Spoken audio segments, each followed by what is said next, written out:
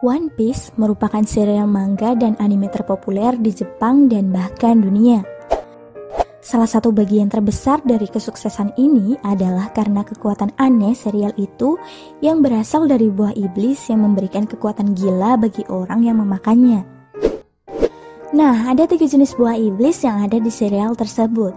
Yang pertama yaitu Paramecia, yang mengubah tubuh pemakannya dengan kekuatan dan kemampuan khusus. Kedua adalah Zoan yang mengubah pemakannya menjadi hewan. Dan terakhir Logia yang mengubah pemakannya menjadi elemen alam seperti cahaya, kegelapan, atau api. Buah iblis di dunia One Piece memang sudah unik. Namun dari sekian banyak itu, ada beberapa buah iblis unik yang berbeda dengan kriteria buah iblis lain di kelasnya. Keunikan dari buah iblis ini mencakup beberapa hal, mulai dari kekuatan sampai karakteristik dan kelemahan buah iblis tersebut. Berikut adalah enam buah iblis unik menurut Loli Meido. Tama-tama Nomi Saat detail dari buah iblis ini dijelaskan aja, masih banyak yang bingung mengkategorikan buah iblis milik Bahram Tamago ini. Kemampuan Tama-Tama Nomi mampu merubah tubuh penggunanya menjadi seperti telur, yang mana jika telurnya pecah, maka penggunanya akan berevolusi menjadi lebih kuat. Lalu, buah iblis apa ini? Paramesia? Coba tulis pendapatmu di kolom komentar ya. Awa Nomi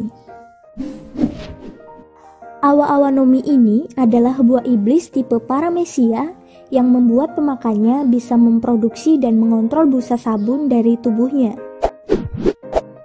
Tidak hanya seseorang dengan kekuatan ini bisa membersihkan kotoran, mereka juga bisa membersihkan kekuatan musuh mereka. Kekuatan ini diperkenalkan pada kisah Water Seven, ketika Khalifa bisa menggunakan kekuatannya untuk melemahkan energi siapa saja yang dia mau. Dia menggunakan gerakan jam emas terhadap Sanji dan Nami ketika tubuh mereka merengut dan menjadi lunak saat dibersihkan. Gerakan ini mencuci tenaga seseorang hingga ke poin relaksasi, dan orang pun jadi sulit bergerak dalam serangan berbusa. Selanjutnya ada buah Jake Jake Nomi. Kelly memiliki kekuatan buah iblis Jake Jake Nomi tipe Paramecia yang memungkinkan ia seperti jaket yang dapat dikenakan kepada seseorang, hewan, ataupun bahkan seekor monster. Berkat kemampuan ini, ia menjadi manusia jaket yang dapat mengambil alih kekuatan subjeknya, lalu digabungkan dengan keterampilan yang ia miliki membuatnya jauh bertambah kuat. Selanjutnya ada buah Horu Horu Nomi.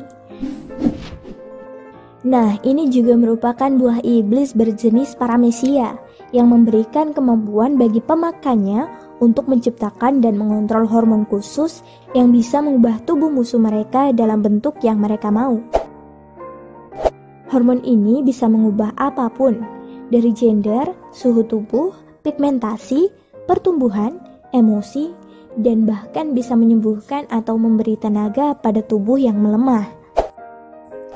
Kekuatan ini kali pertama diperkenalkan Emporio Ivankov pada cerita Impel Down. Di serial ini, Ivankov melakukan banyak hal dengan kekuatan hormon itu, seperti mengubah gender tahanan. Dia menghadapi kekuatan beracun Magellan ketika Luffy terkena dan bahkan menumbuhkan kepalanya hingga ke level gila demi membantu Luffy dan tahanan lain kabur dan membuat serangannya menjadi lebih kuat. Selanjutnya ada buah Sui Sui Nomi. Nah, Suiswinomi ini adalah buah iblis paramesia yang membuat pemakannya bisa berenang, baik di tanah maupun tembok. Pertama kali digunakan Senorping di cerita Dressrosa. Buah iblis ini membuat Senorping berenang melintasi permukaan padat seperti berenang di atas cairan. Dia bahkan bisa berenang secara vertikal. Yang aneh lagi, karena buah ini adalah satu-satunya pemakan buah iblis bisa berenang. Meskipun kekuatan buah ini tidak terlalu berguna, pemakainya bisa menggunakannya untuk kabur dari situasi sulit. Meskipun Senor Pink tidak pernah melakukannya berkat gengsinya sebagai pria. Meskipun begitu, kemampuan berenang ini bisa membuat Pink sebagai salah satu bawahan paling berharga Don Flamingo. Wasu Wasunomi Walaupun tua, kekuatan Suru tampaknya berpotensi overpower juga. Seperti buah milik Sugar dan Perona. Wasuwasunomi ini adalah buah iblis tipe paramesia yang memberikan pemakannya kekuatan mencuci dan menjemur musuh seperti pakaian. Seperti awa-awa nomi, buah ini mencuci musuh dan membuat mereka tidak bisa bergerak. Kekuatan itu digunakan oleh Great Staff Officer Suru dari Marinir selama cerita Marineford. Meskipun tidak terlalu kuat, keanehannya jauh lebih dalam karena Eiichiro Oda mengatakan buah ini membuat hati penjahat yang sudah dijemur jadi sedikit lebih bersih. Jadi itu adalah kemampuan berbahaya terhadap bajak laut.